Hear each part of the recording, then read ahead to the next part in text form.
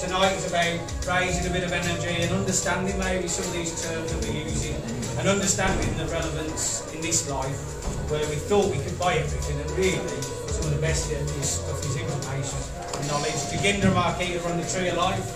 Um, a guy on the website they do a lot of events and a lot of support in the raw food um, way of life. It is a way of life. Uh, they've spoken a couple of times here and they're uh, wonderful friends. So let's uh, give them a bit of attention. Welcome everybody. We would like to start with just one minute of silence. So you just basically relax in your chair and make sure that your feet are really grounded on the floor. Or you, that's fine. And make sure that also you are not crossing anything. and that energy just flows and that your spine is straight, not rigid, It is very straight, flexible. And you can really feel all the breath and the energy just kind of flowing through. Just close your eyes gently. And let's just take a deep breath in together. And letting go, breathing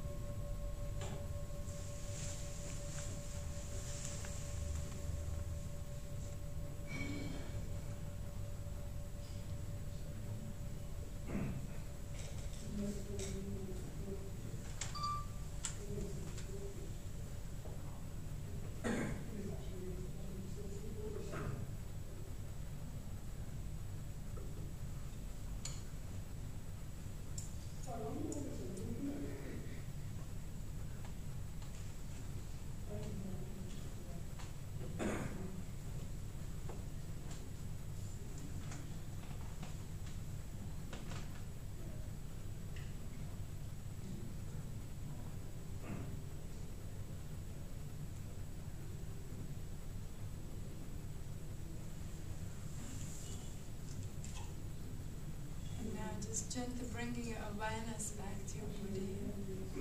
Just gently make a little move inside your body.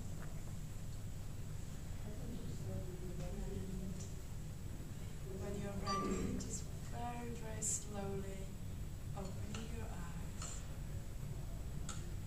Coming back into this room. Just see. Just give them a little. everybody behind you, in front of you. Just make sure that you're aware of everybody in this room.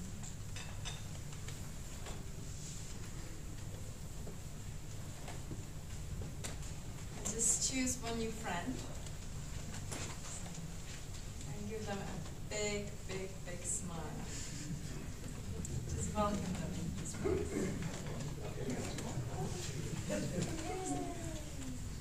So let's have a stretch. After a long day.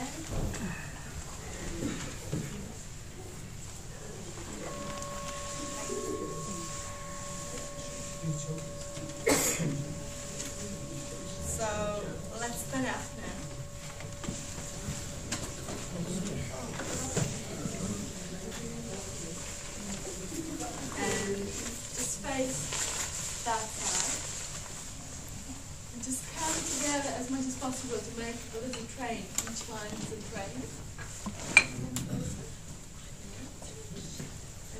put your hands on the shoulder in front, person in front of you. Just give them a really nice touch. You feel them. Just take a deep breath in and out. And give them a really nice massage.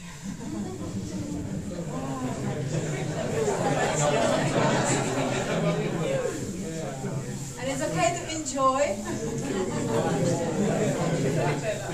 it's okay to make sound. Like, ah. They can tell them harder, harder, gentle, gentle.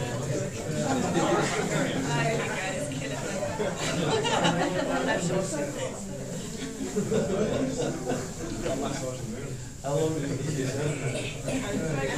shoulder. Back.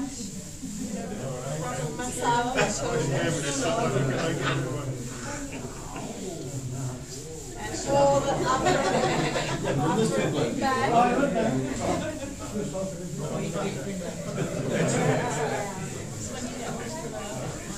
back. And going a little bit down.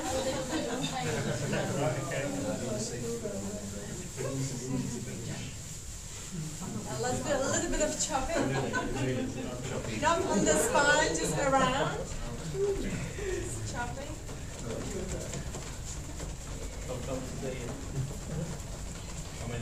A little bit of rubbing.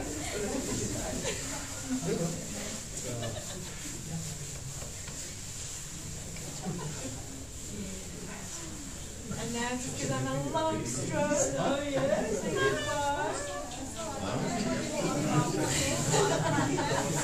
Raise your hands and turn to the side. So again, put your hand face back. On the person in front of you, just put their hands and just stay present for a second. Oh, just give them a lovely touch. And just take a deep breath in. And breathing loudly out. and give them nice massage as well. This is brilliant.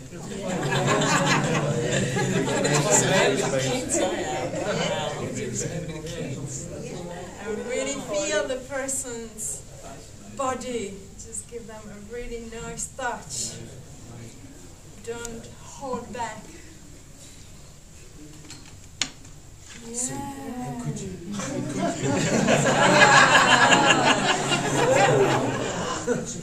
and also a little bit of shoulder massage.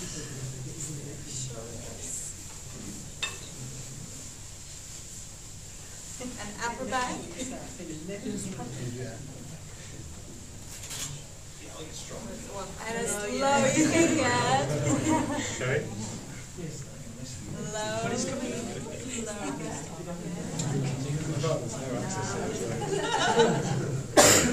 Now we do a little bit of chopping. Ah. Ah. It's okay to make sounds like ah, ah, Rubbing. Rubbing. Rubbing the back. Be like the kid. Just enjoy that, doing it. You've got to do it. Ah.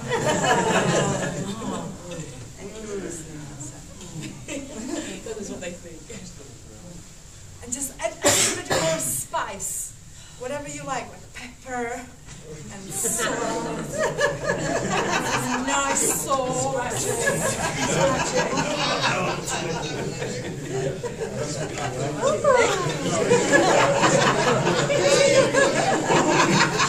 Just stop on your shoulder again. And just take a deep breath, breath in. And give them a lovely stroke down while you're breathing out. And just give those two people you were working with a lovely hug, saying thank you. thank you.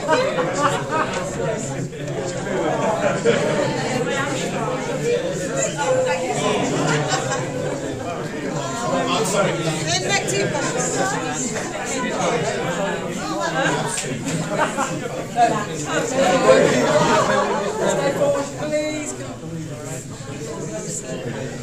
I know I'm hot as well. Thing, doesn't it? Are you warm? Are you warm? He's going to start that with the kids. So how did that feel? Are you warmed up now? Fantastic. Fantastic. It's all about raising the energy, which is what we're doing today. Uh, okay, so the next exercise, uh, we can do a very, very ancient tantric exercise with our clothes on. So just put your hands out like this. Yeah, you got it? And then, and then you're going to slowly bring them together. Oh, you got something. Yeah, until they interlock you. Put one thumb on top. So you're completely interlocked. Brilliant. And if your left thumb is on top, then do this. Left thumb on top, do this. Okay.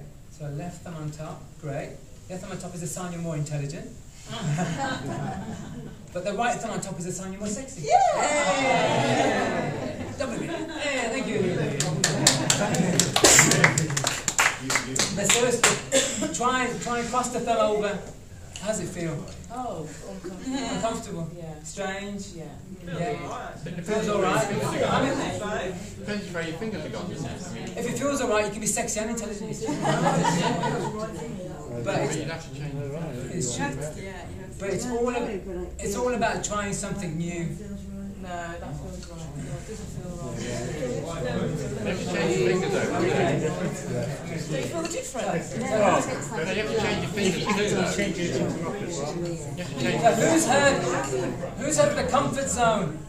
Who's heard of the comfort zone? Still even though. Who's what, sorry? The comfort zone. Yeah. Yes. Out of it. What is the comfort zone? Anything you're comfortable with? What you're comfortable with, yeah?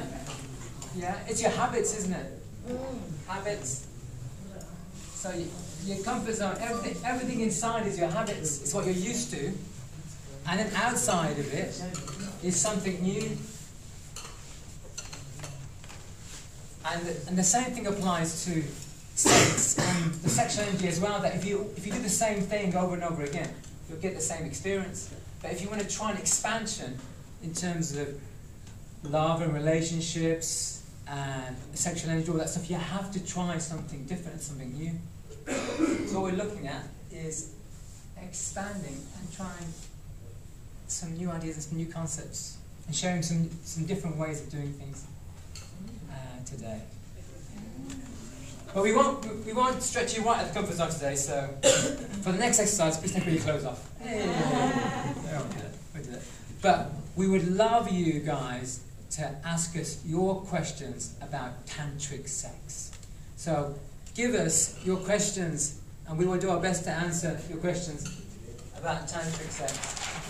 What is it? What is it? What is it? Okay. That's great. So what is it? Go on, keep firing away. Keep firing away. Does it involve a vibrator? Else we can't take you. Tantric vibes, you know. Some vibes going on there somewhere. What is it for What was it? That's like this Does it involve sex?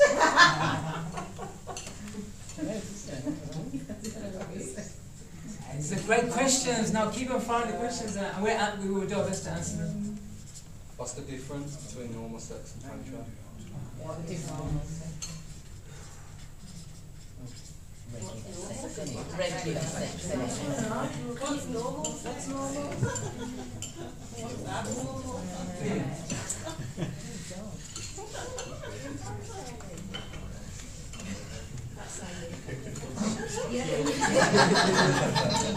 Any other questions?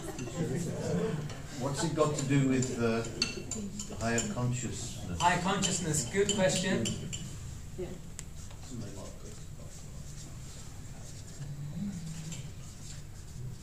you recommend it?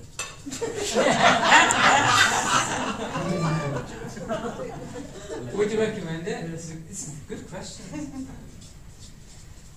Following on from consciousness, what's it got to do with creativity as well? Uh, creativity. Recommend it. Would you recommend? Uh, C O M Called I think it's called Bert. Yeah, Just spell how you think, we know what it Yeah. means. Creativity, creativity, tantra. Oh,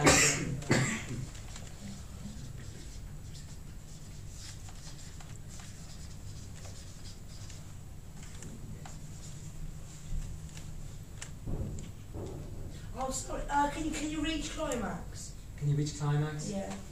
How many mornings? How many? Um, once.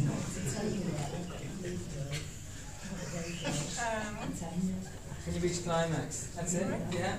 How many times? How many times?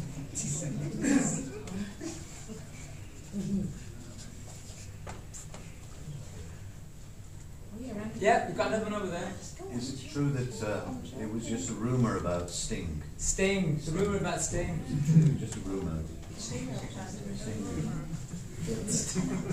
Rumor. Just, just put Sting down. You know, Sting. Sting. The Sting question mark. okay. I think we've probably got enough. we can have later. We can have, yeah. Anybody? I think it's probably enough. Yeah, because we're gonna. Okay, first of all, we'll just share a bit about our story. Uh, so we we was we've been studying Tantra for the last four or five years with our Tantra teacher who's Sarita, who studied with Osho in India for 26 years. A very spiritual form of Tantra, and uh, so we did a whole seven levels training course with her. And, and once we, we trained with her, we started teaching it in Birmingham uh, about three years ago. And so that's our experience. Yeah. We, we both had experience as a single to do kind of uh, single tantra or tantra for singles before we met. So we kind of knew that we would love really also attract a partner you can practice that together. But it's very open for anybody as a single, as a couple. You know, you can and you can also start from wherever you are, you know, wherever you are on the on your own kind of level. so yeah, and it was mostly about really you know, finding ourselves. Yeah, finding really you know how it is possible to have really beautiful relationship on all levels and not be scared about sexuality generally. Yeah, and how to actually express the generally the sexuality in the relationship as well. Right. So what is tantric sex? Oh, so, so, so who's had sex in the room? Put your hands up. Has anybody had sex? At least one. At least once. oh, it's great. Is that everybody? Is that everybody? Is that everybody? Not virgin in the room. Okay, so, so, so anyone had an orgasm in the room? Put your hands up. Orgasm? Yeah. Hey! okay. Without sex. So, so, so who's had one of those kind of really mind-blowing orgasms? You know, when you realise mind-blowing, great. Some people have mind. Can you just can you put it into words when you have one of those mind-blowing orgasms? What does it feel like? Yeah. It's kind of like heavenly. with women, they have out for me, like it's like you know, you can have like a quick one when the outside. But when you get a body one, Yeah. it's like it's like um, okay. When when when when when you when you climax normally, right, from like just outside stimulation, like from the uh, clit, yeah, then it kind of feel ah, when you when you come, it fo- kind of feels electric, like and you can't touch it. But when you get a body one, it kind of rolls over. You don't actually peak. It like kind of rolls over like a lot of times, and then you peak. That's what it Fantastic. feels like. Fantastic. Yeah. Yeah. I'd say yeah. Yeah. Yeah. We're doing the bridge. kind of thing. I actually got into it. Yeah. YouTube. I mean, it's actually it's quite a spiritual experience, isn't it? Yeah, yeah. yeah. And yeah. this is where Tantra comes in because actually the sexual energy and the spiritual energy is all interconnected. That's why in India, that Tantra as a form of spiritual awakening came about because they realized that the sexual energy was a doorway to opening up consciousness. Mm-hmm. That that energy, which actually gives birth to life, it's the life force energy, is also the energy which, you know, is running through us, and which we can use to awaken. And so it's a very, very spiritual practice of using the sexual energy uh, to awaken through, through through the sex. In the chakras, though, isn't it regarded as, as the, one of the lower forms? Is that right? Of energy? Wow. I don't know. I don't know. Well- I'm new to that. Um, the energy is, is, is, is in the lower part. Mm. But I don't know if you want to talk about lotus and stuff like that. Um, Yeah. a little bit. Well, um, if we talk about Tantra, this is probably the first question as, as well. What is the Tantra? It, you know, it can't actually be totally described, but if I try, it can be described as a science, as an art, as a lifestyle or life approach. It's something that appears from being totally present and total, absolutely total in all levels. So really integrating everything, the physicality, emotional, you know, like the mental, the spiritual, you know, the consciousness, the love, every single thing, and especially spirituality. So it's basically when we are talking about sexual energy, it's just part of us. Yeah.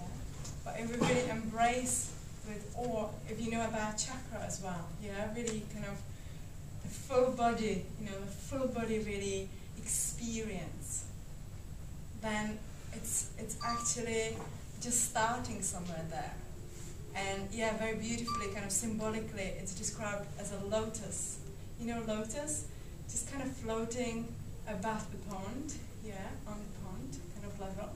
And it's just, it's just brilliant. It's just beautiful. It's just kind of a magnificent flower. You could stare at it all day long, it's just like open towards the best, you know, best of it. But actually, the lotus is coming, you know, and growing from the root, and the roots are in the mat. And you know, you can see that actually we are very much afraid of sexuality. You know, feeling it as something like dirty or not touching, not really talking about that most of the time.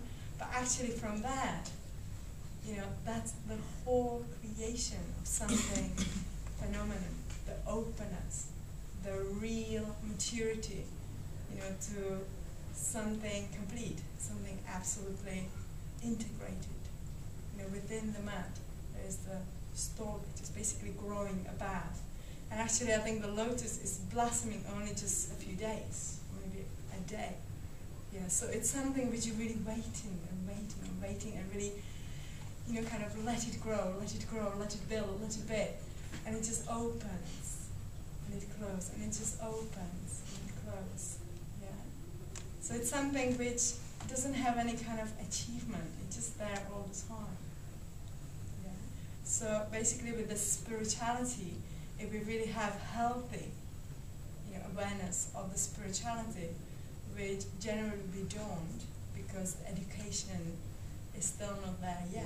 All of us, yeah, like really being educated about the energy, how to rise to energy, and you know, s- s- basically starting being aware of Kundalini energy and really, you know, build on this energy, which really is for me is the sexual energy is the most powerful energy we all have, and is the most creative and transformative energy we all own. So it's just so beautiful. And you really, really need to know how to work with that.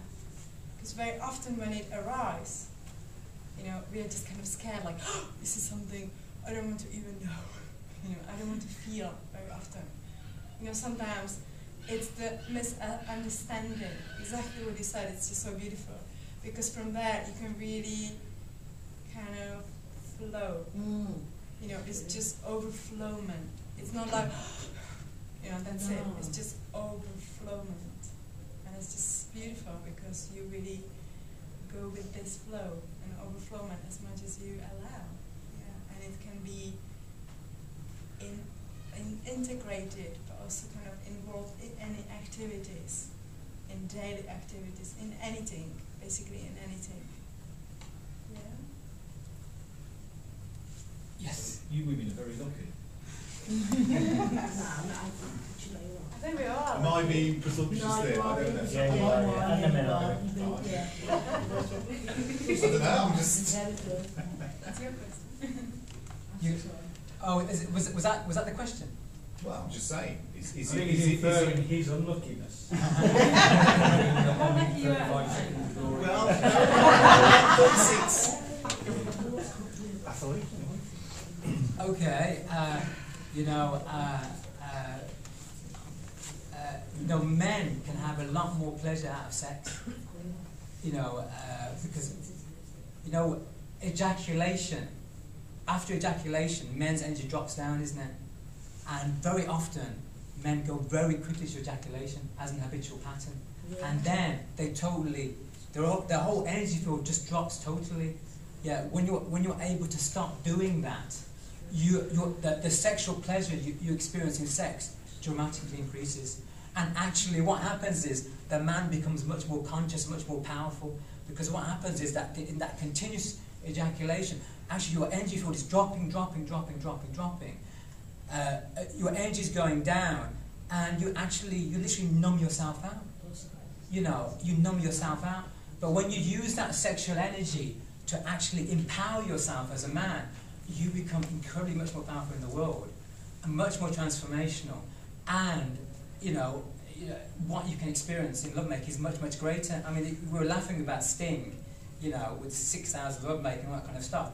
But once you take conscious control of your sexual energy, then the whole sexual act becomes much more deeper, much more conscious, and much more uh, uh, transformational experience. Uh, and so, actually, men can actually have tremendous sexual experiences, you know, uh, you know, as, as much as women want to take conscious control of their sexual energy. If you look at, if you look at animals, you know, when they're desexed, you can control them.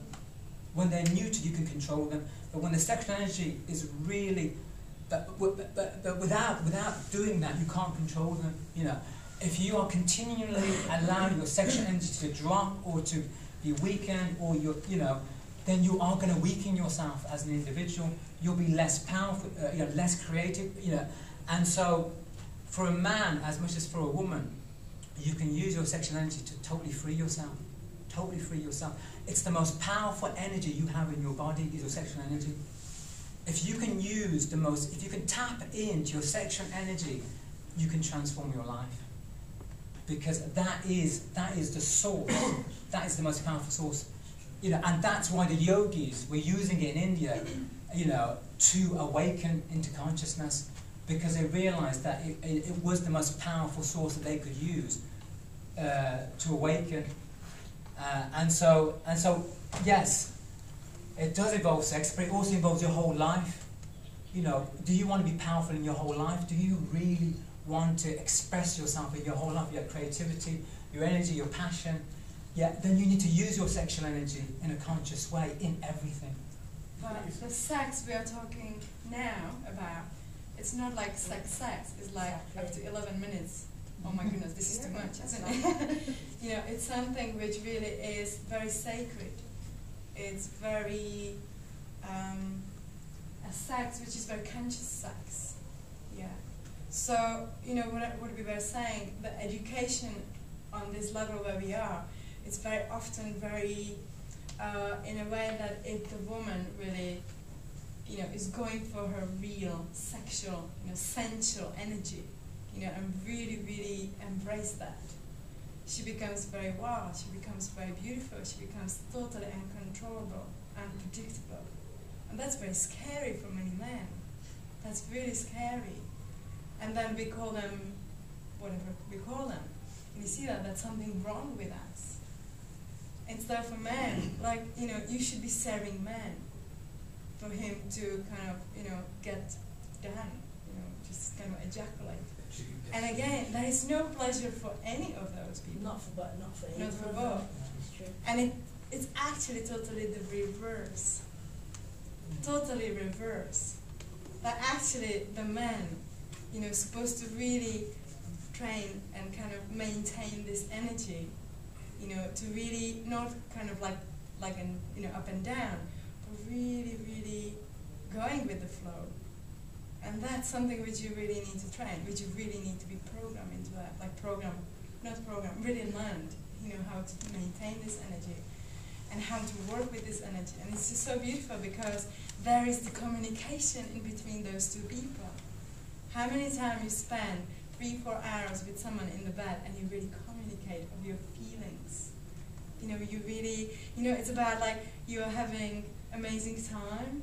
You maybe even, you know, are still in the bed and you just kind of have candles around. You know, all those senses are basically involved. You know, the smell and the light or dark. You know, all those kind of contradiction there as well you know, peaks and valleys, but you don't go like that's that's the peak and by, or it's the valley and by. It's just it's just really going that way. It's beautiful dance in between those two people. It's becoming amazing. It's becoming something you never forget because you always experience something else in this. Yeah. And it's really beautiful because then the man finally also achieve the you know, kind of feeling that he can really fulfill not only his desires and his sexuality, but also the feminine side as well. You know, really kind of go, you know, kind of in the, kind of meet halfway. Yeah. And it takes a lot of courage. It takes also a lot of commitment in the relationship. And very often we really kind of stuck on a level that we think that we know what we do, and kind of it feels right but it's just the pleasuring kind of. It's really just the, you know, the feelings, the emotions. Chemical release. Chemicals, yeah. so you know, the normal sex, it's fine. Why not? You know, it's fine, totally fine. You just, you know, you just say, oh, let's have kind of sex on the kitchen table, whatever. It's great. It's fine. It's brilliant. It's the excitement. But there is also something else which we all really long for something which really includes all of us. You know, the entire body, mental, emotions, spiritual side of us. And if you think of it, when you really come to reach this level, you lose the perspective who is the woman and who is the man. There's the absolute divine oneness. And that's that's an achievement. That's something beautiful. And if you see the Tantra is really about contradiction all the time because you're working like day, night, bad, good, man, woman, you know, something like that, slow, fast. But actually, everything is good. Everything is perfect as it is in different way. If you think that you really have to catch your bus in the morning, you have to be very fast. If you really want to flirt with someone who you just getting know, you want to be very sensual and very slow. Yeah. Or you want to do something which requires your, you know, precise kind of awareness, intention, and really nice kind of detail, you know, the sense for detail. You really slow down, don't you? But sometimes we kind of like, we don't know what we're actually supposed to use at some situation, especially between each other. So we really need to find the level of being very present and total, and especially in relationship. And and it always starts. What I'm saying as well, you know, why we really love doing tantra on our own because it actually brought us together. You know, as a single, when you do the tantra, you really start having more awareness of the other sex, of your own self. So you really find more and more of yourself, your, you know, everything, of your sexuality, of who you really are. And then you also are not in the trouble so often because you know who you are, so you know who you are approaching or who would you like to approach. So you kind of have much more clarity as well. So it's really a combination of everything, yeah. And I know that Osho was the kind of tantric master, he said like, you know, tantra is the yeah sayer to everything. You're basically saying yes to everything in a very, very you know, present way. Yeah, in Tantra, you literally fuck your brains out. If you think about it, you go to that place of no mind, you know, when you're in that peak sexual place, there is no separation, and you go to that place of oneness naturally, and that's why it's the doorway, the window to awakening. Now there was there was a whole brainwashing done throughout the ages. Uh, you know, uh, you know, as, as soon as the sexual energy was, you know, was, was being used or whatever, the churches came in, made it all taboo, made it all wrong. Sexual energy nothing to do with God. You know, completely said it was all, you know, you know, dirty and bad. No spirituality there at all. And then the whole act was just created, made by society as just a physical act, completely devalued. And then, and you know, and then, and then when you look at today's society, it's all, it's all kind of just made as a physical act, totally without any spirituality, without any consciousness at all to it, other than the physical experience. And, it, and all, of the, all of its power was totally stripped away. Yeah, and we've all been brainwashed into making it such a superficial experience, which actually then lowers our energy. And what we, you know, what Tantra is saying is that this is actually one of our most important heritages, the sexual energy, and and you know we need to use it to empower ourselves, you know, and we can use it, and it is an incredibly spiritual energy. It's a very very consciousness raising energy.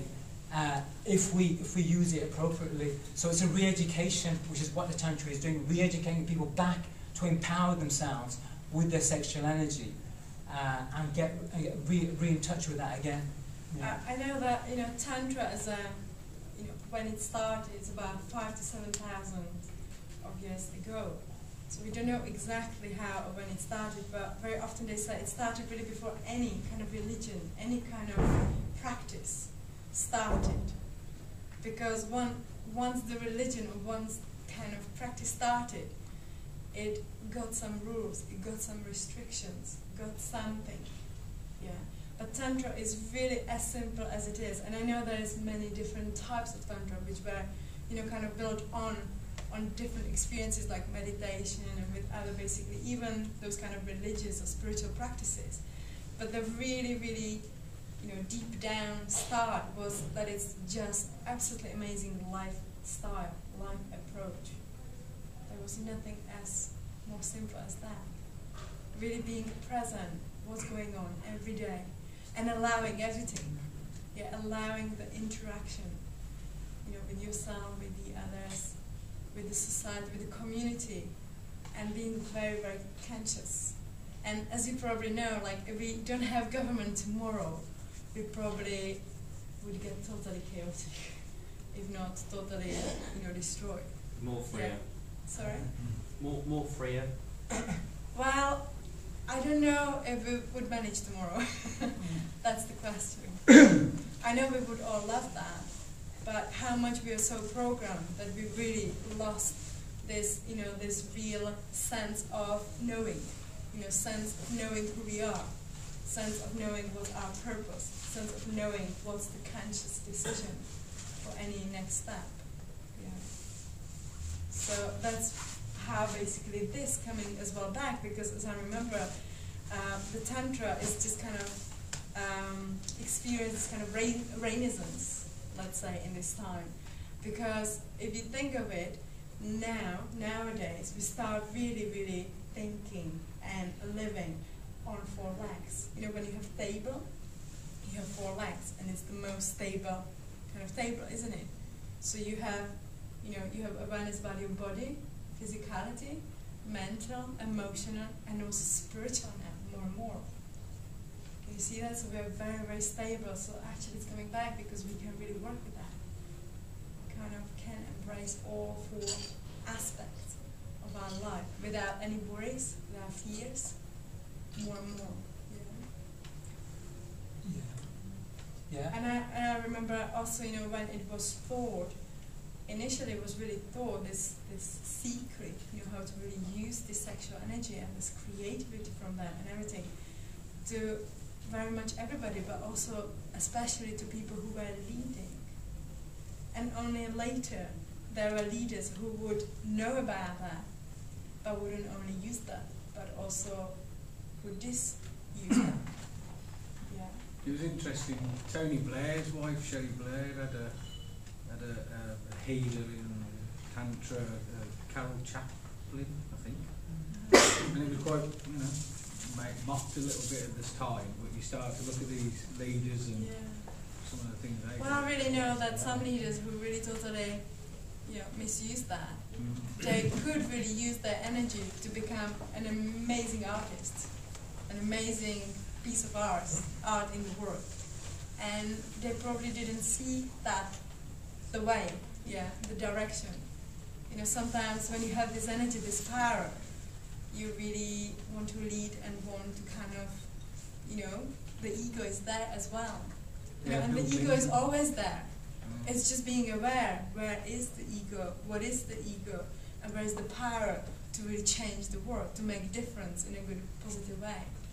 And that's, you know, that's where you are on the level where the choices, you know, appear, and you have to make a choice. Yeah. And, you know, we make all choices every day. Sometimes are wrong, sometimes no. But generally, I really believe there is nothing wrong with anything. It's just really learning and learning and learning and really finding, you know, what is the right choice for me. Because nobody can tell you what is the right choice for you. You see that? Yeah, and you know, the transformation you experience when you take conscious control of your sexual energy does not stay in the bedroom. Mm. You know, it bursts out into all aspects of your life.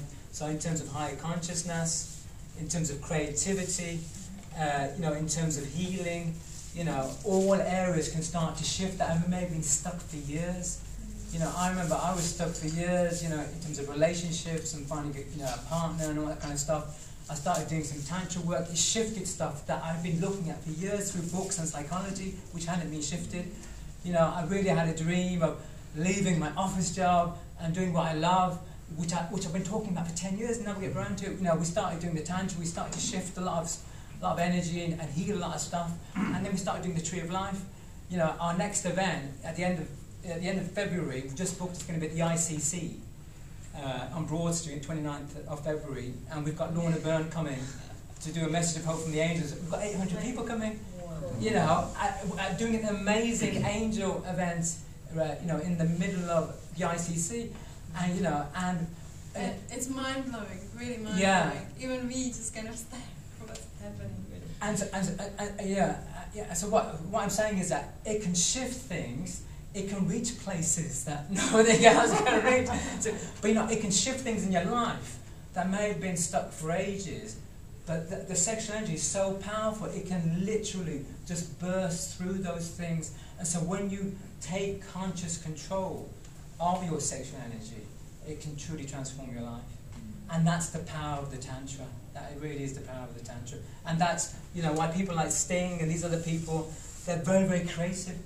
You know, these musicians, you know, they're pouring out into their creativity because they're, they're realizing conscious control of their sexual energy is something which they can pour out then into their music, you know, into their songs, into, you know, you know, into whatever they're doing. You know, very often there is this kind of about the men, yeah?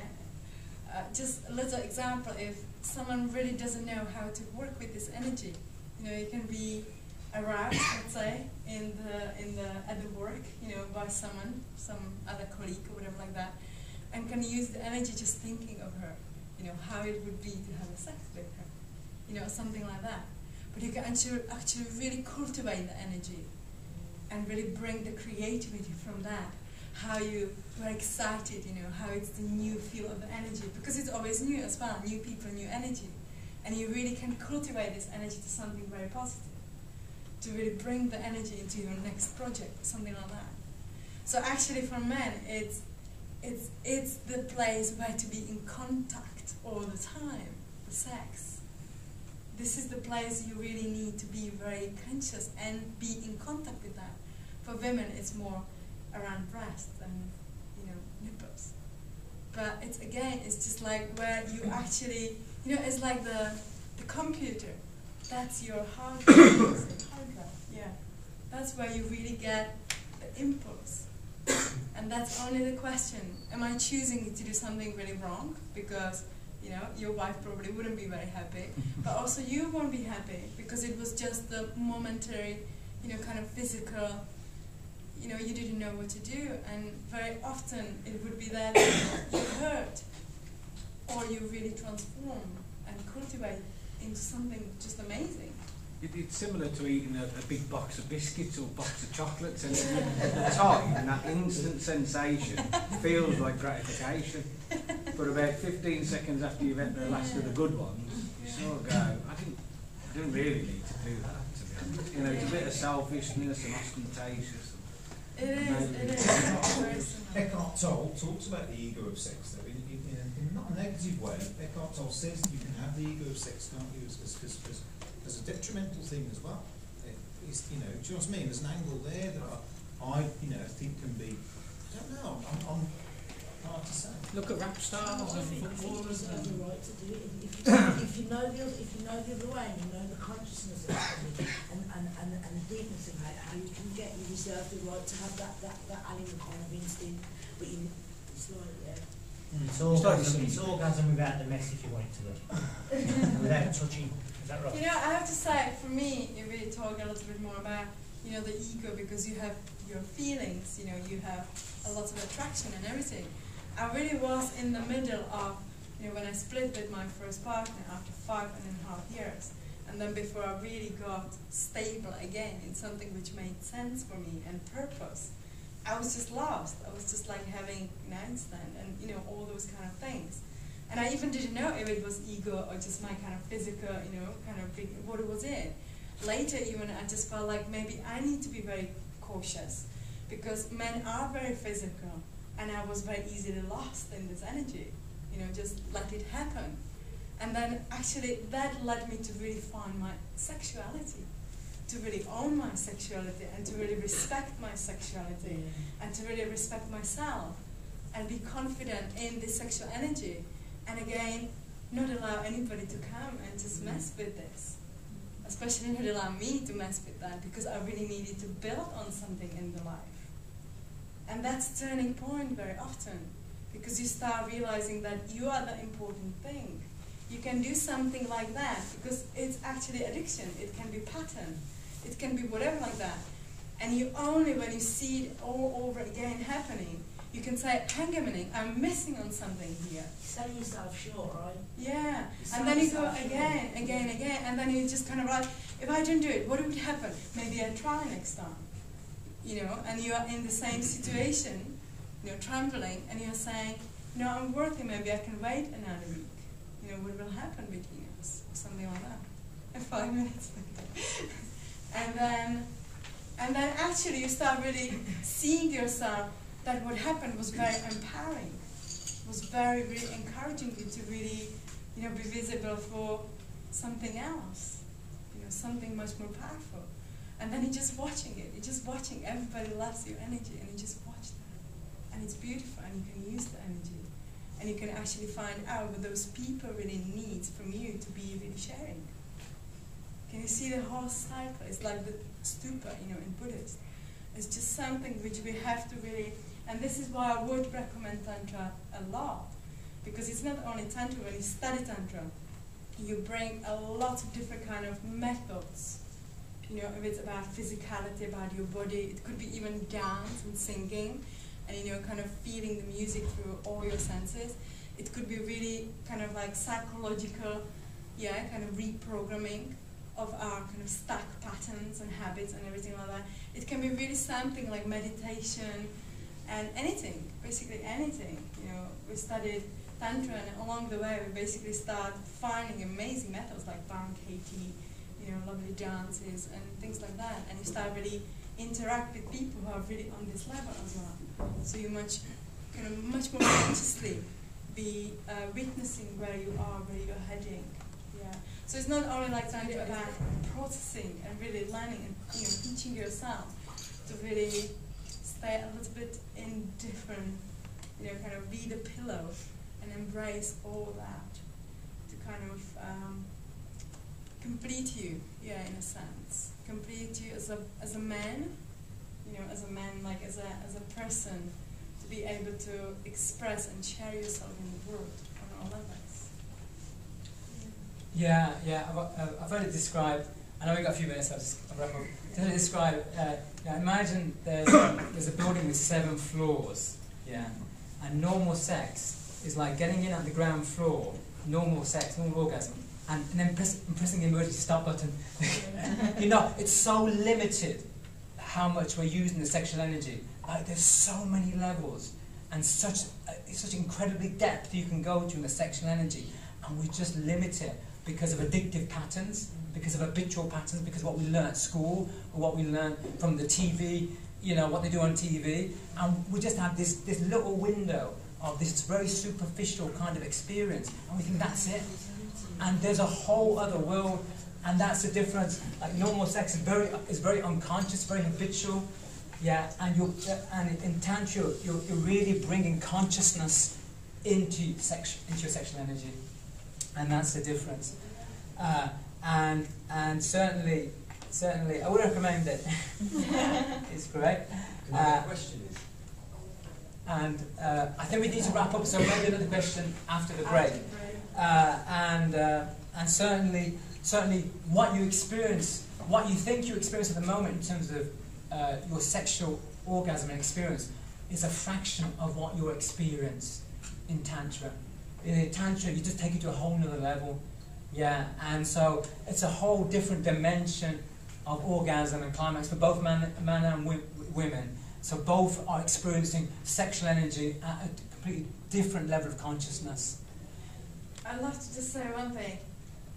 I would never believe that Tantra will teach me so much about men and about myself.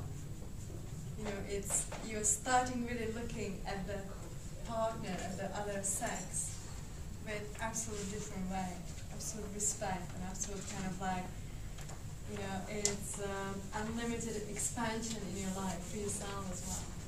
And I think something like that we are really, you know, looking for as well. Really looking forward to, you know, kind of experience because that's the expansion, you know, in the relationship. And it doesn't need to be only partnership. You know, you start experiencing really generally in your family, but you're learning a lot from each other. There is, you know, there is nothing who is more. It's absolute equality. Yeah, that's what I would like. You know, it's differences, but it's equality. I, I could listen to you like all night, but some of these have got a small imagine uh, memory banks and small bladders. Just, just, just, just, just before we break, just, just want to say Yeah, two yeah. quick things. Just before the break, first of all, after the break, we're going to actually do some tantric exercises. Don't really keep your clothes on, but a chance to kind of connect with the energy. So we'll do some practical stuff after the break. So please stay for that. I'm going to introduce Joginder Marketa. Thank uh, Paul for coming up uh, to the second half of the talk. It'll be about 40 minutes, and then if there's a few questions and answers, and uh, yeah, the, the floor's yours. Thank you very much.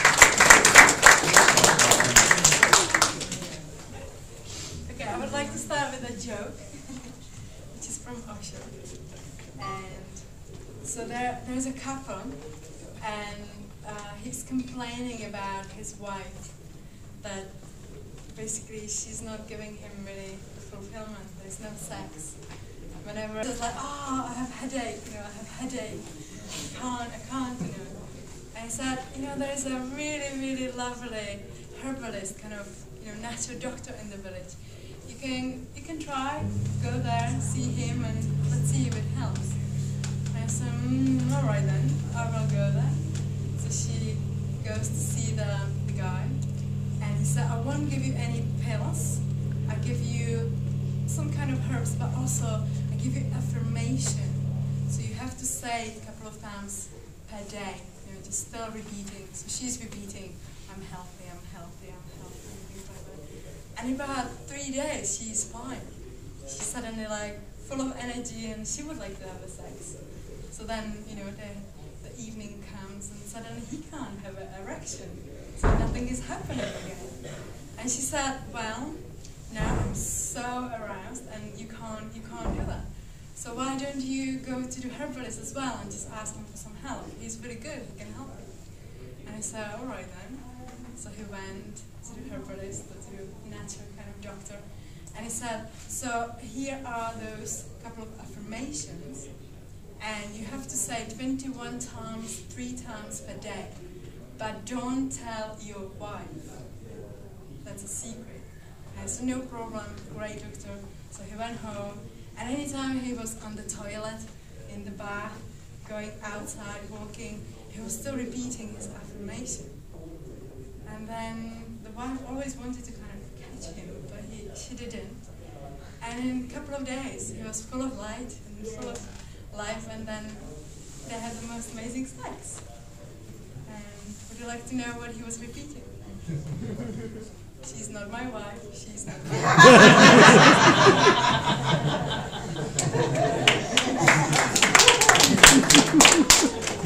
and why, why I wanted to say this joke because there were a couple of people who asked me, you know, when we really are struggling with having orgasm or being really, you know, being able to really have the attraction, where it's coming first from?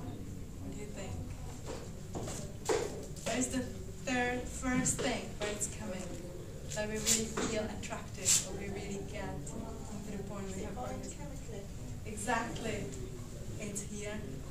The mind is the place. Whenever you think of someone, even the person is not in front of you, can you get really attracted? Can you get really turned on? You can, don't you? So it's as simple as you know, as you know probably already with law of attraction. You know, you are unlimited. You are absolutely unlimited. You can do whatever you want. And there are so many people who are really complaining. You know, like I can't get orgasm with my partner. It's just there, really. What is the problem? Find it. What is it all about that? Yeah. And it's very often where it starts. Because very often we don't feel the fulfillment inside us and we blame on the other people. Yeah. And you really have to be responsible for your own pleasure and for your own happiness in your life. So please don't be a victim. Please don't blame the other. Really look inside. Where is the joy? Where is the happiness? Where is the sweetness? Where is the ex- ecstasy? And where is really the moment where you know I get whatever I want? And of course, there is other things because sometimes it can be very just physical, and you really need help, or you really need to ask them for change, direction, whatever it is. Or you can maybe really need to sort some emotional stuckness in between you, that it flows, the energy, you know, the lovingness, and everything like and so on and so on. Okay. So, did I give you something to think now? Yeah, the key, the key is the mind. In Tantra, the key is the mind. Uh, has anyone got a voice in their head? Has got a voice in their head of that's chattering all the time? Yeah, is that is it just me? yeah, yeah. And what what kind of things is the voice saying? It could, a lot of negativity quite often, isn't it? Like I'm not good enough, or I forgot to do this, or I should have done that, whatever. And and you know, some of us got two voices in our mind. we might have three. But this chatterbox is what is what makes us unpresent or or asleep or unconscious to the present moment. We miss the now because our voices are chattering away about the past or the future. And we lose the power and the energy of the moment.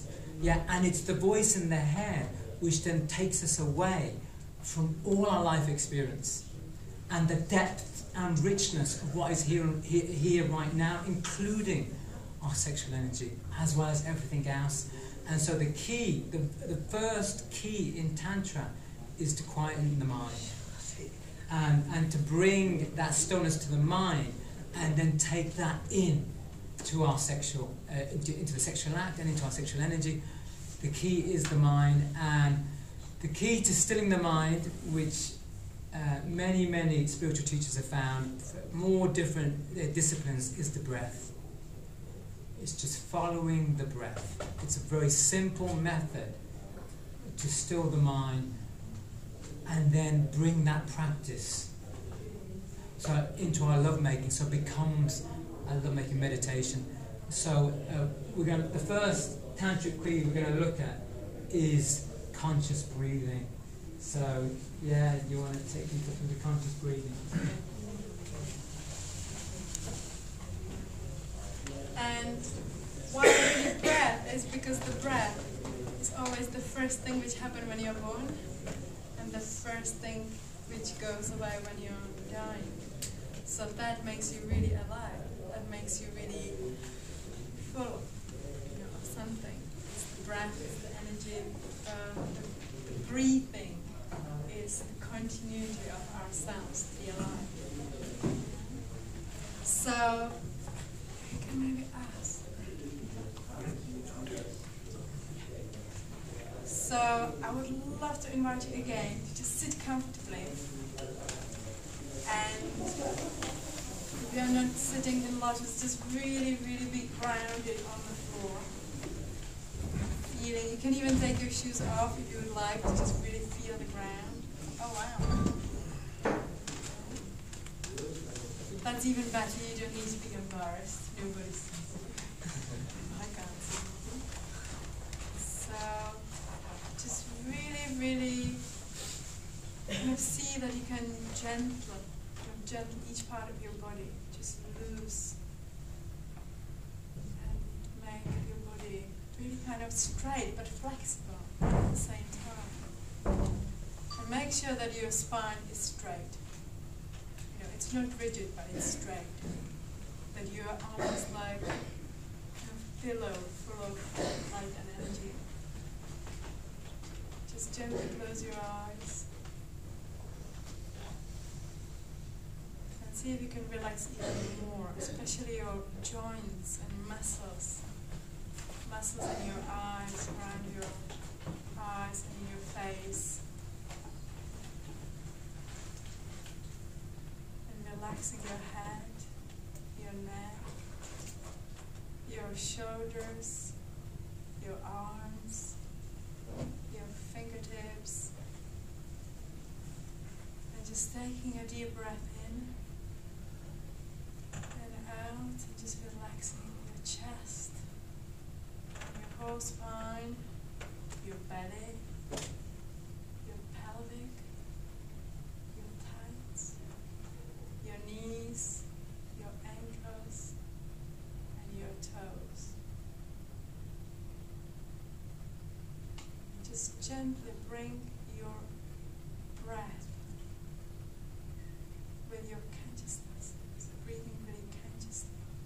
Just being fascinating how you're taking in the air from the outside into your body and breathing out and sharing your inner breath with everything around you. And you can gently open your mouth and breathe in and out through your mouth just to feel the sensation. Just really, really relaxing in your face. Just gently.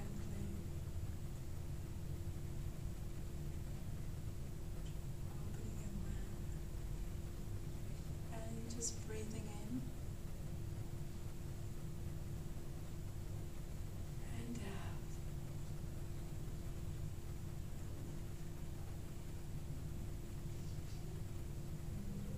Follow your pace, just follow your breath. And just be really conscious, witnessing your breath. Each breath. Each breath is expansion in your life.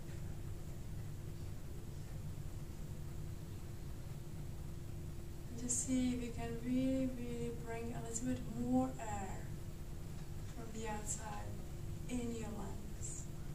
Just breathing a bit deeply, just to get this sensation. Sharing part of you with everything around while you're breathing out.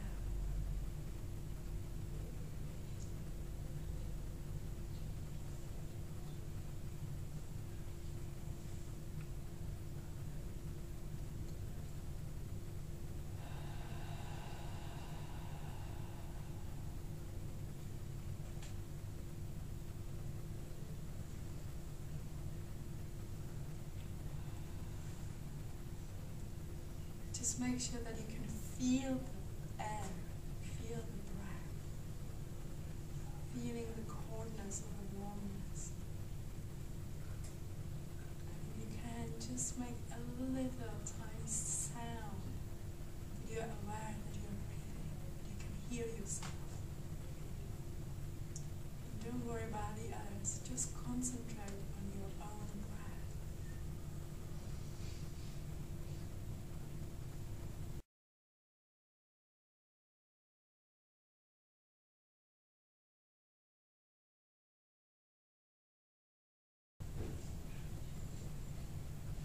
And now, just very, very gently, stay with your breath, just opening your eyes, even in the darkness.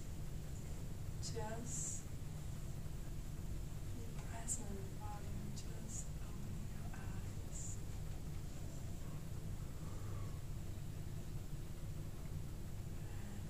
And whatever you see is fine, just be aware of yourself. Just be very, very present. Feeling yourself, your energy, the energy of the space.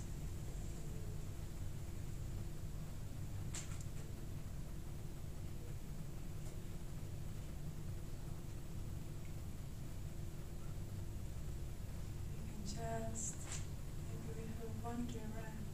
Just have a look around.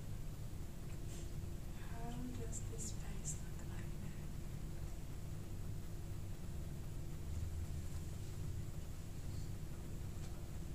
How do you feel right now?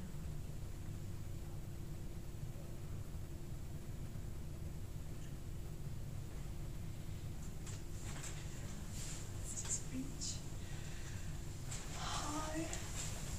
Take a deep breath in and out. And everybody breathing out loud. oh, yeah. Are you okay?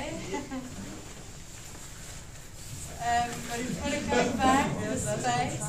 You gently turn the light on. So you can protect your eyes from the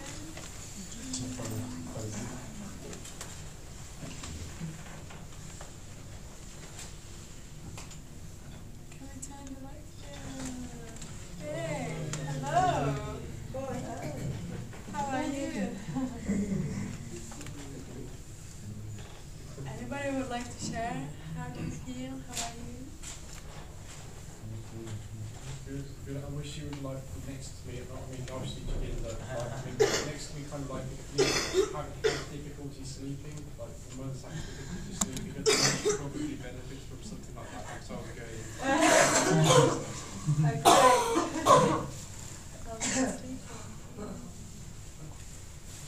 Good. How are you feeling now after that? So relaxed, isn't it? Yeah. Calmer, Stiller. stiller, more present, Yeah. more in the now. Yeah. Energized. Energized as well. Yeah. Did you feel the energy? Yeah. Your Yeah. breath of yourself, of the others Yeah. around? It's beautiful.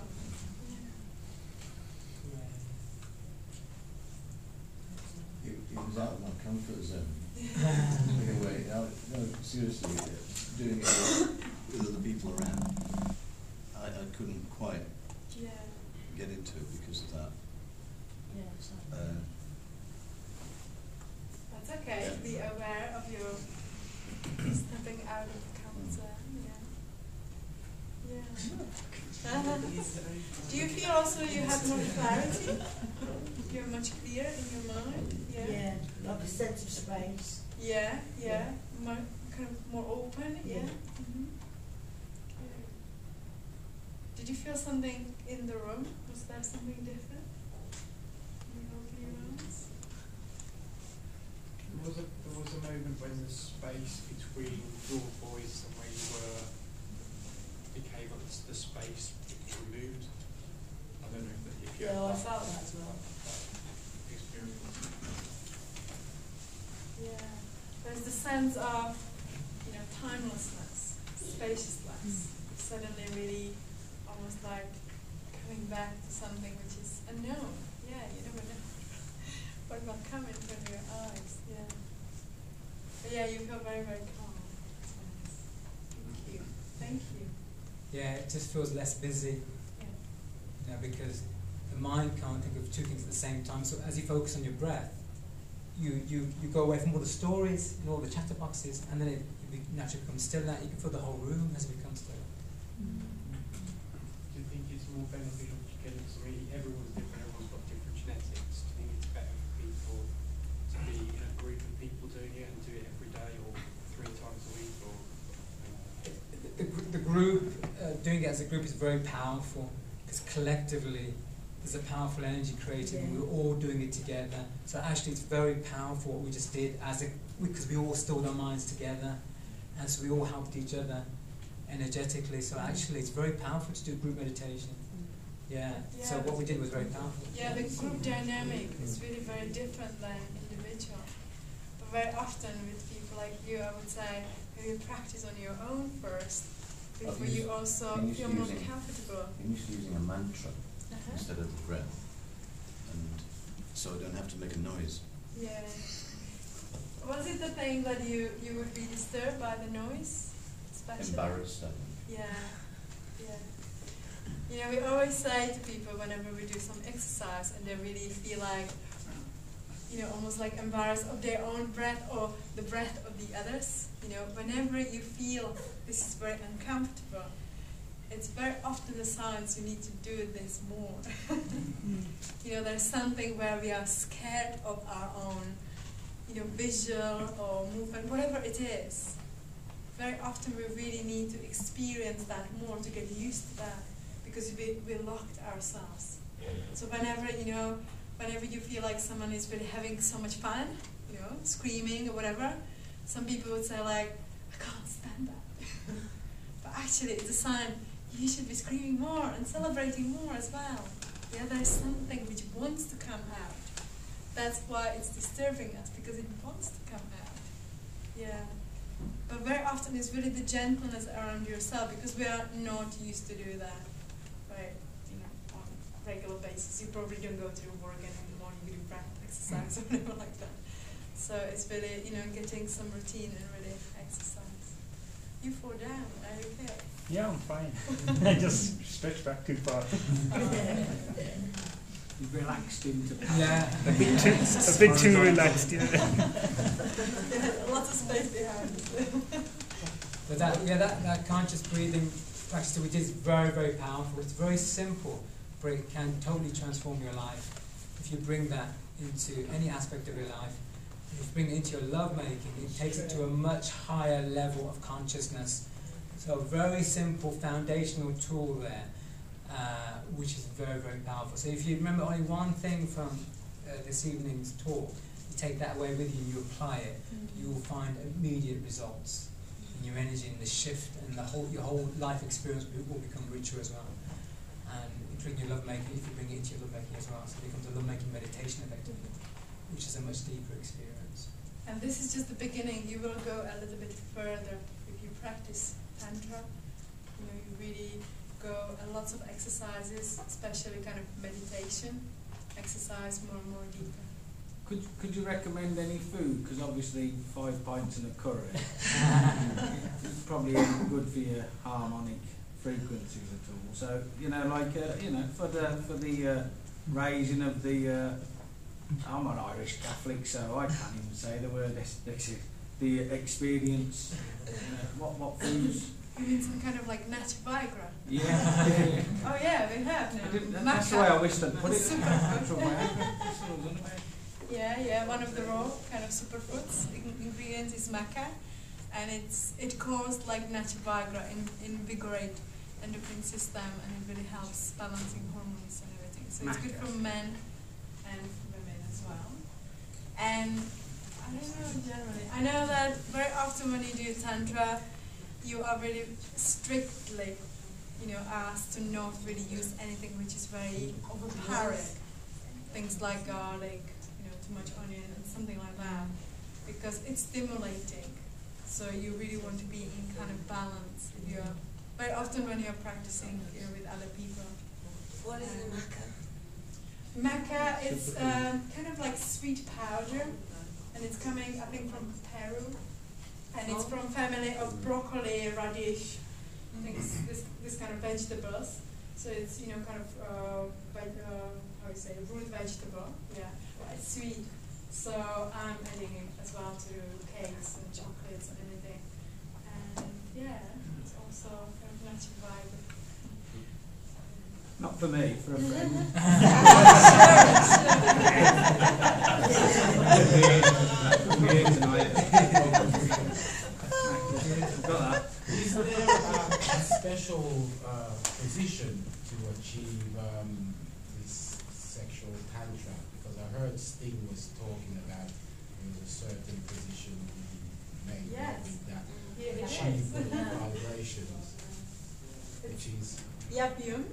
yeah. Yeah. Basically, as close as you can get to be in connection with each other. Yeah. So is that man and woman? Yeah, this is the man, this is the king, and this is the his lover, whoever it is. So they are in Yab-Yum, they are in embrace. And just sit like that for hours. Yeah. Inside, outside. Don't, they have, don't they have some temples in India where they've got all those sort of sexual Yeah. positions on? Yeah. Temples. Khajuraho temples. Yeah, Yeah. you go and have a look round there and then. yeah, this this temple it's very beautiful. It's actually it has all the sculpture around with different kind of uh, doings, isn't it? It's not only positions. every single bit you can do, you know, in your life, like acts, acts. What is it? Everything basically. And What's the? Buddha, the, the Khajuraho. monks, Khajuraho Khajuraho, temples. they they're supposed to meditate on every single bit. So it can be sexual, it can be just kind of normal casual things. They basically meditate until they get kind of get out of the last, something like that. So kind of you transform that through seeing that and having fancy and imagination and kind of meditate on that. Yeah. It's, it's very beautiful actually. There's a picture of, of that. I think this is from that as well. Yeah. Mhm. I've got an interest, well, there's one question. Say, for example, if you have disabilities, like, is, is tantra sex accessible to people with disabilities? Sure. Definitely it is. Yeah, I mean, I would say, you know, it's not an obsession about position. No, no, no. it's not at we're all. making jokes. I mean, I mean, I, I mean, the position stuff. That's all external stuff. It's an internal shift in experience you're looking at. It's it's an inner transformation of your energy, which you're doing, uh, and so and so it doesn't really. it's more how you're using your energy. You're using your breath. You use it. You're, you're stilling the mind. You're bringing that higher consciousness into your into your experience, I and mean- that's beyond the body. I mean, what this described is much more than the position, because the position, I'm sure that every every of you will be finding different position much more comfortable or much more exciting or whatever like that. But the main thing here, if you see that a little bit, they're really looking into each other's eyes. Yeah. And this is one of the tantric exercises as well, as, as simple as that, to really looking each, to each other's eyes and to really honor that quality. Yeah. So it's really like bowing to each other, you know, to see the equality, the divinity. Kind of go into the eye and actually just look at all of the different patterns around the eye. You lose yourself in the patterns, you know, around the, uh, the black mark you're. No, no. I mean, what you're doing is that is that you're just you're you're you're you're, you're, you're not looking. You're, what you're looking at is that is that the person's soul, their spirit. Yeah. So you're looking at the God in them, which reflects the God in you. You're seeing the oneness, the eternity. Yeah. In the spirit that is shown, that that appears as two separate bodies, but isn't is in fact the oneness appearing in duality. So it's a very spiritual experience because you effectively see yourself in them, they see themselves in you, and you see the oneness of the whole of existence played out through two people. You know, So, so it's a very spiritual eye gazing that you're doing, you're looking beyond the body and into the spirit. um, who has experience this kind of moment when you even maybe knew someone for a long time and suddenly you just really knew them? Just by connected eye to eye okay okay not so many of you. So it's something like you know when you have normal connection every day and i have to say very often we experience that with children you know, children are very patient. They just look and stare at you. They really want to get all your essence while you're talking to them. They are not affected by emotions like something like, I don't want to even respond to her now. You know, or, you know all those kind of masks and all those layers which we have normally. Someone, someone look into our eyes and we already know that we don't, we don't want to talk to them. For example, you see that. But with kids, they're just so fascinating. That's new. That's something. What will I see right now? You see that it's it's a look where you really stare at each other like for the first time in your life. Like you were never experienced something like that. You were never seen this person before actually. And it's always like that. But you really take this time to really look into each other's eyes. You always see something new. You always find something absolutely amazing. And it can be just beauty because it's the reflection of you. It can be just beauty, it can be just calmness, it can be whatever, but it's always the dance between you yourself, and it's very much the reflection of you as well. So many people, you know, they go to spiritual places and they see somebody who's like, you know, follows the spiritual path for a long time and you know, meditated, meditated a lot, and then you, you sit you sit down with them, they're kind of like their their eyes are kind of like really calm waters, and uh, they can they can see all of the conflicts in your eyes and in your life, all the conflicts in your life. It's the stillness which creates this knowing. It's that you're so still that you know the the message, the truth, basically arrive. Yeah. Yeah. And you know that's something which we really lost because we don't have time. You know, we all say like, I don't have time to even sit with you. Yeah, or I just want to really have my cup of tea. Like, what is it? Why are we don't look each, to each other? You know, we would know so much about each, each other.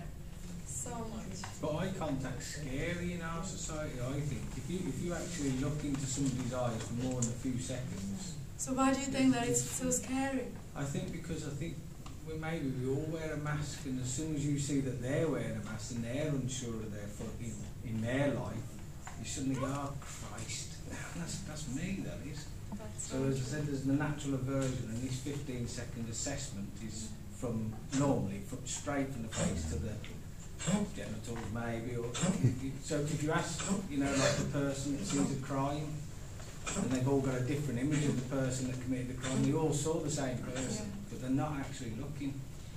Just sort of skim glimpse, and then we move on quickly. But you know, when you realize that beyond the layers and beyond the mask, it's real you, the most beautiful and divine you know, human being and spirit, then people really, you know, more melt into that, kind of are open to do that. But very often we really wear the mask because if you meet someone in the office, you don't want to stare into their eyes.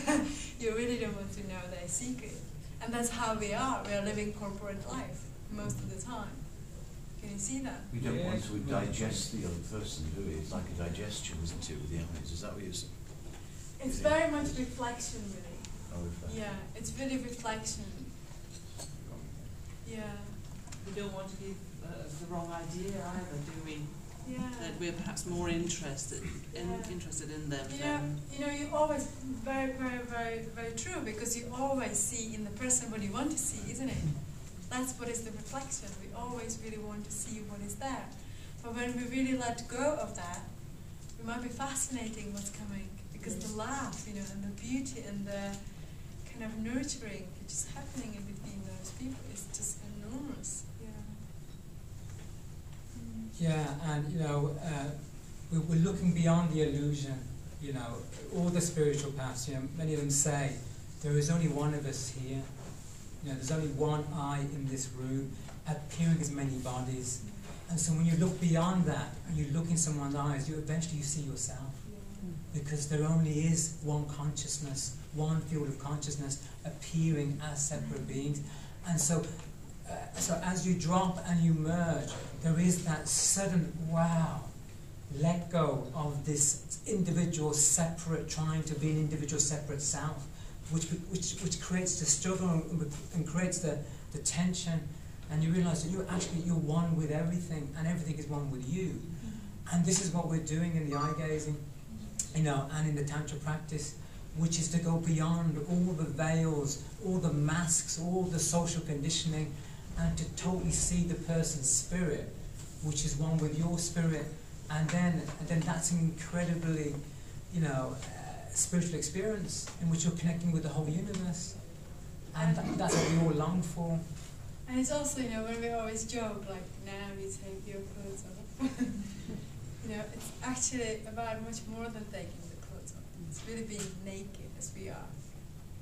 You see that? It's, you know, we really have everything sorted in our life, everybody would take the clothes off right now because there is nothing to be, you know, ashamed of. The nakedness is really in our mind again. You know, to be really totally you know, pure and naked. is just really through here. You know, we all, all our spirits, we long to see and be seen. And how rarely does, does someone just let all the masks and all the barriers down and see you, and you allow them to, you know, to, you know, you know, it's so rare in our society, you know, to really allow all this to drop and to see and be seen. And this is, you know, this is what we're doing. This is what we're doing, you know. And isn't it, isn't it the big saying, yes, I want that? Isn't it that? We do get it. It's two weeks every year. Normally in a foreign country, and suddenly everybody experiences this oneness with nature, and then they get back on a plane. Yeah. But you know what? I tell you one thing. Coming back, you know, this is a vicious circle, because you're saying two, two weeks, like Yeah. it's a holiday. Yeah. You know, uh, since we really managed to make the transition, and I would say I was very much kind of supporting Joginder to do that because when I was about, let's say, 21, my dad really helped me to become as a self-employed, and I really, really, you know, from now, like when I look back, I really struggle with the imagination that I would be working with someone. I just can't imagine that, really. It's just like once you have the freedom, you can't go back mm-hmm. into any employment. And I did it a couple of times, and it was really, really struggle, you know, for me oh, it. Yeah. And then to get it as a solicitor, can you see that? Even I could say, great money, let's just, you know, relax. That's mm-hmm. fine as we are. But I just felt like there's always something more. You can relax now, but this is the end of your life. You know, this is as we get to some habits, and we will have a great holiday. You know, we will have great house and everything like that, which I wish we will have anyway, in a way that you really appreciate that much more. Mm-hmm. Because this is absolutely up to you what you're creating every day now. And you know, the adventures which we are experiencing every day, just working with each other, it's just phenomenal. It's just, you know, it's it's priceless, really priceless. All It right, I'm never, never already. cover anything. really jealous of you guys. But- We're we're here going, Why we are here, why we are here is to say it's possible. For anybody, it's possible. Why not? And more and more people really, at least thinking of how can I do the transition, and it is really possible. Uh, Markova, sorry. Markova. Markova? Marketa. Magelda. Marketa.